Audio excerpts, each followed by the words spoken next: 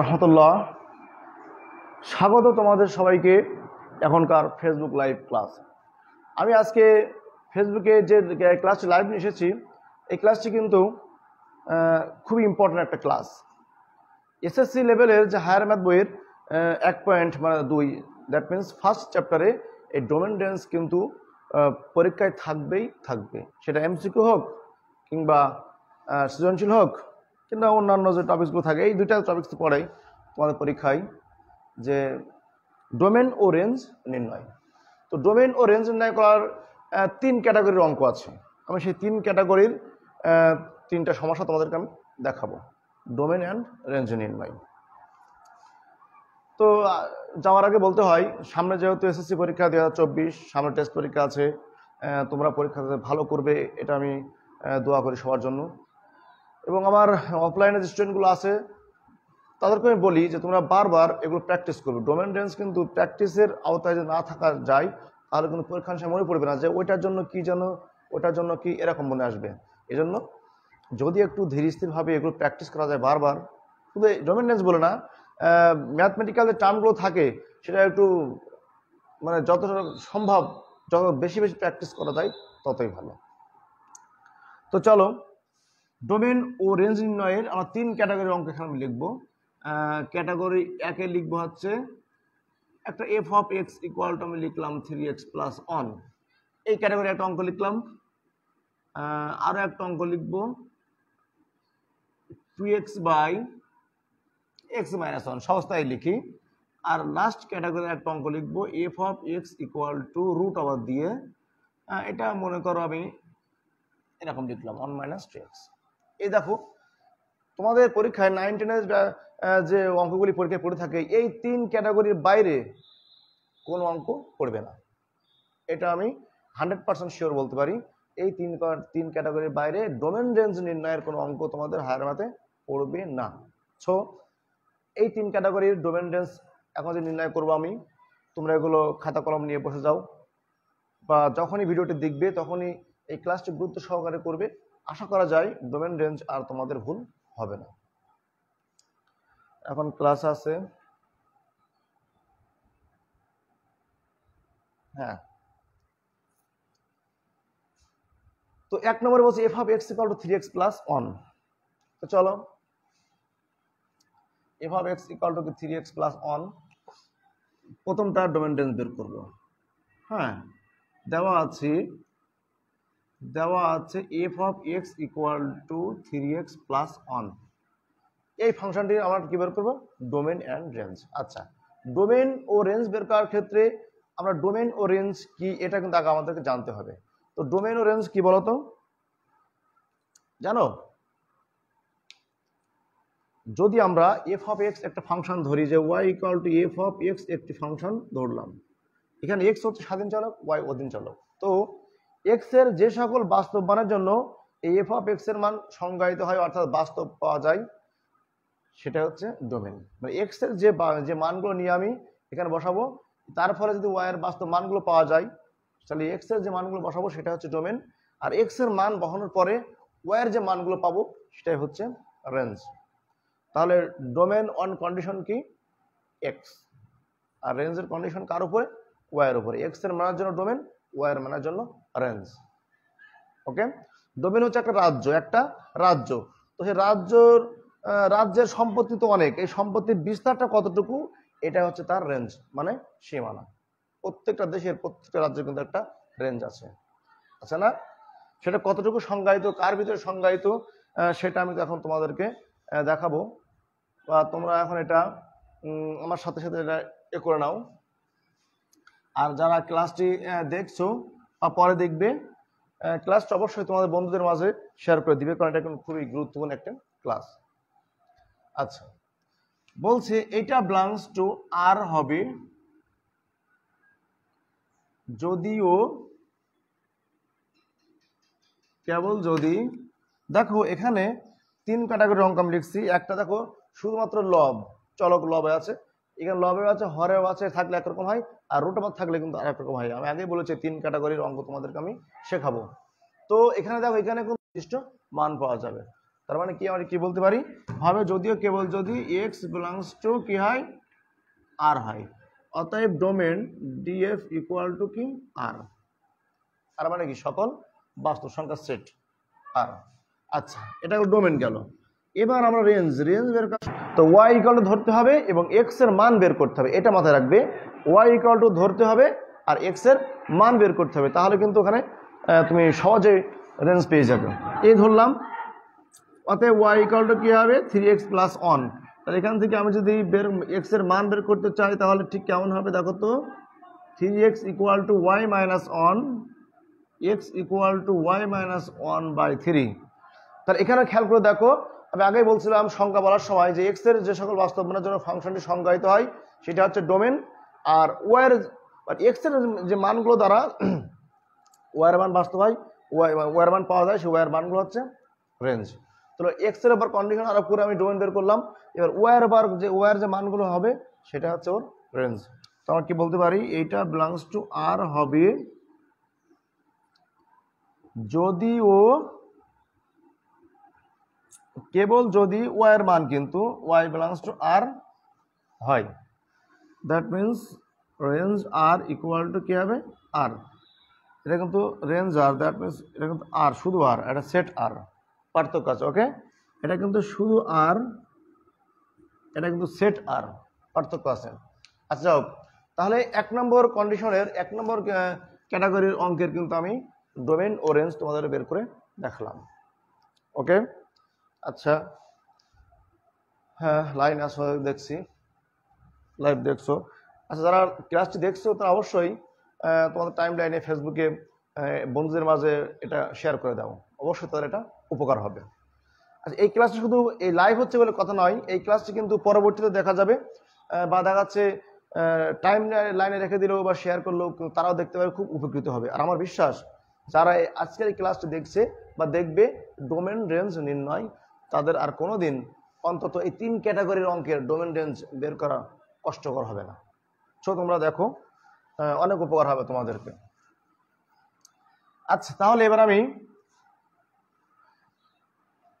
দুই নম্বরটি তোমার দেখাবো। দুই নম্বরটি কি? দুই নম্বরটা আমি লিখছিলাম ওখানে যে কি লিখছিলাম? দেওয়া আছে f of x equal to two x by x minus one এখানে কিন্তু খেয়াল করে দেখো লব আছে, হর আছে। লব, হর। লব, হর থার কারণে এবং দেখতে হবে, লব, হর থাকতেই পারে, ভগ্নাংশ হতেই পারে বাট দেখতে হবে চলকটি মানে ফাংশনটি যার ফাংশন এক্স চলকের ফাংশন, তাহলে এক্স চলকটি কি হরে আছে? অবশ্যই এক্স কিন্তু এবার হরে আছে। আগে যেরকম এর ক্ষেত্রে বলছিলাম যে এক্সের সকল বাস্তবমান বহালে কোনো সমস্যা নাই, কিন্তু এই ক্ষেত্রে কিন্তু এক্সের কিছু মান বসালে সমস্যা হতে পারে। কেমন দেখো? এখানে হর আছে এক্স মাইনাস ওয়ান তো এক্স মাইনাস ওয়ান আমি যদি এক্সের মান ওয়ান বসাই এখানে, তাহলে কি হবে দেখো তো? কি আসছে? Two by zero something by zero এটা কিন্তু অনির্ণয় আকার। এটা কখনো নির্ণয় করা সম্ভব না। অসংজ্ঞায়িত একটা ফর্ম আনডিফাইন্ড একটা ফর্ম এই জন্য দেখতে হবে হরে চলক আছে। এই জন্য দেখতে হবে যে কোন মানের জন্য এক্সের কোন বাস্তব মানের জন্য এটা সংজ্ঞায়িত হবে। সামথিং ভাগ জিরো একটা জিনিস খেয়াল করবা তোমরা মনে রাখবা। সামথিং বাই জিরো আর জিরো বাই জিরো এরকম ফর্ম যদি আসে কোনো সময়, এরকম ফর্ম যদি আসে কোনো সময়, এটা অবশ্যই অনির্ণেয় আকার, অবশ্যই অনির্ণেয় আকার।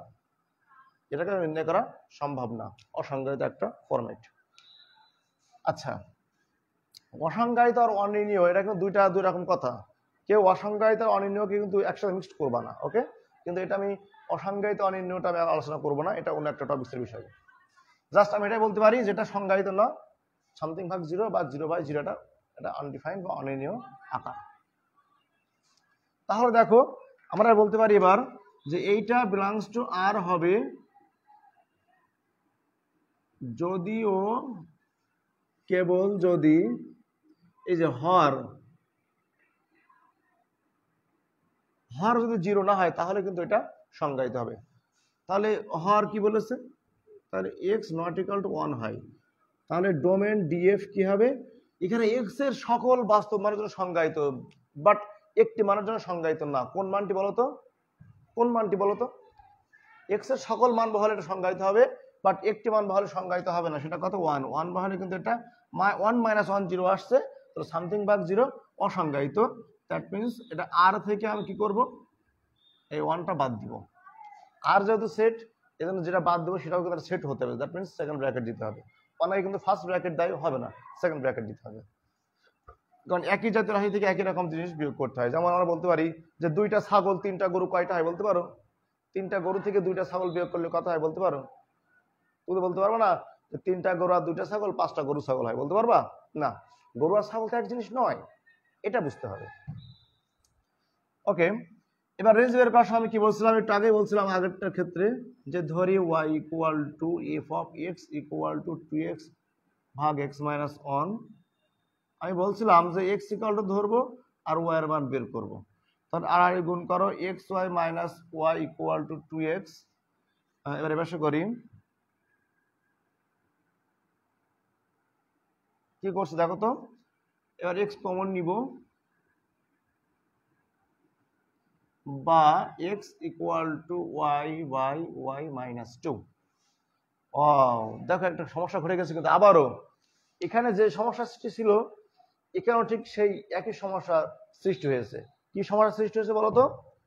এখানে যে সমস্যা সৃষ্টি হয়েছে সেটি হচ্ছে এই, এখানেও কিন্তু হরে চলক আছে। আছে না? এই তো। তাহলে এখানে কিন্তু ওয়ার মান কত বা হলে জিরো হবে ওয়ার মান টু বা হলে জিরো হবে। তাহলে টু বাদে ওয়াই এর সকল বাস্তব মানের জন্য এক্সের মান বাস্তব পাওয়া যাবে। দ্যাট মিনস রেঞ্জ কি হবে? আর থেকে টু মাইনাস করতে হবে।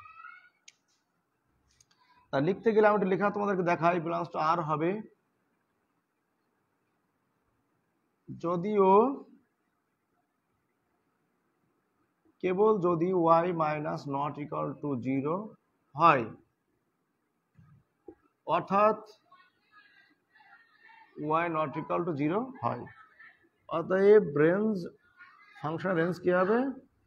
আর থেকে ওই টুটা আমি কি করব? বাদ দিয়ে দেবো। সো মানে স্টুডেন্টস দেখো, এক নম্বর এবং দুই নম্বর মানে প্রথম দুই ক্যাটাগরির ডোমেন রেঞ্জ কীভাবে বের করতে হয়, আমি কিন্তু তোমাদেরকে দেখিয়ে দিলাম। আশা করি আজকের পর থেকে, এখন থেকে এই ডোমেন রেঞ্জ বের করা তোমাদের জন্য আর কোনো কঠিন কাজ হবে না। এজন্য কি করতে হবে? এগুলো বারবার প্র্যাকটিস করতে হবে এবং মনোযোগ সহকারে দেখতে হবে যে কোন অঙ্কের জন্য কোন রুলসটা আমাকে প্রয়োগ করতে হবে। এবার আমি তিন নম্বরটা তোমাদেরকে দেখাবো লাস্ট যে রুলস যে নিয়মের অঙ্কটা আমি দেখ বোর্ডে লিখেছি, তিন নম্বর। ওখানে বলছি f of x equal root over one minus three x f of x equal to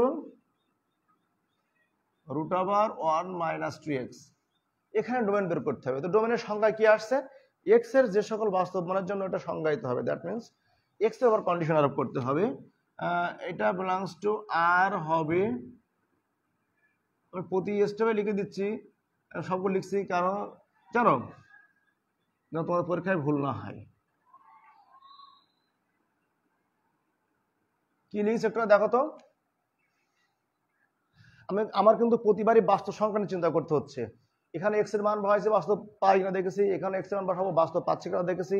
এখানেও কিন্তু আমি এক্সের মান বসাবো, কিন্তু সেটা ফলাফল কি বাস্তব, আসছে কি আসছে না, এটা কিন্তু আমরা দেখছি না। তাহলে কি হবে? কীভাবে আমরা এটা দেখতে পারি?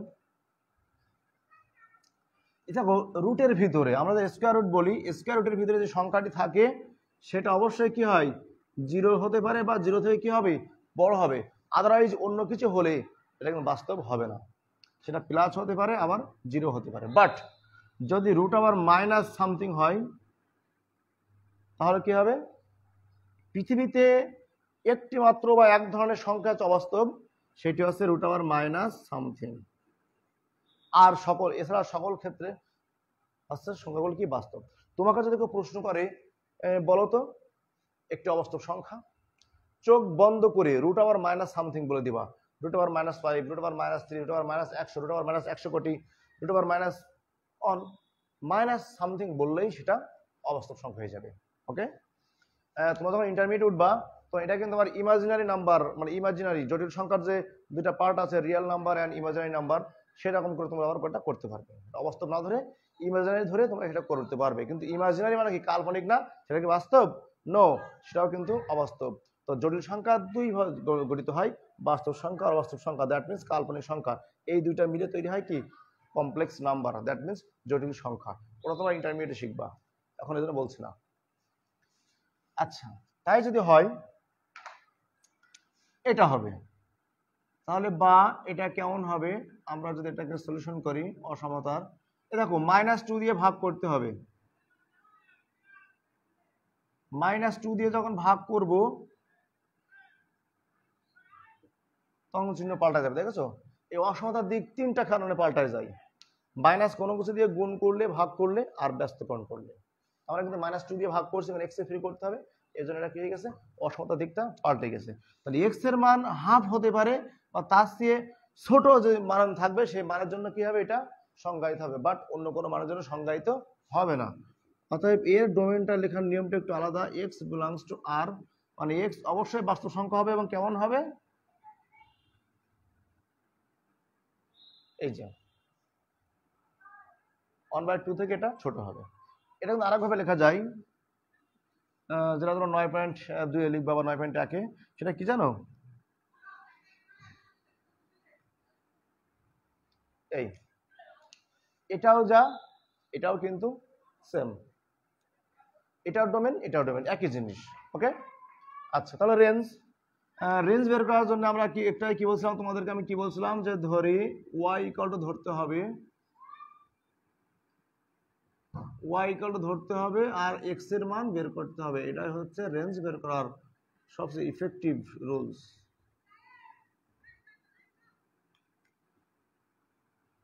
ঠিক আছে? তাহলে এক্স ইকাল টু কি হবে? One minus y square by two আচ্ছা বলো তো, আমাকে জানাও তোমরা।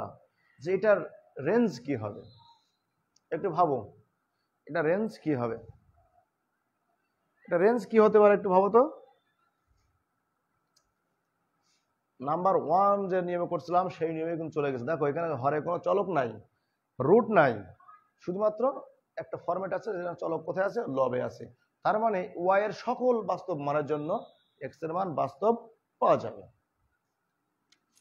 তাহলে এটা বিলংস টু আর হবে যদি ও কেবল যদি ওয়াই বিলংস টু আর হয়। অতএব রেঞ্জ আর এফ কি হবে? সকল বাস্তব সংখ্যা।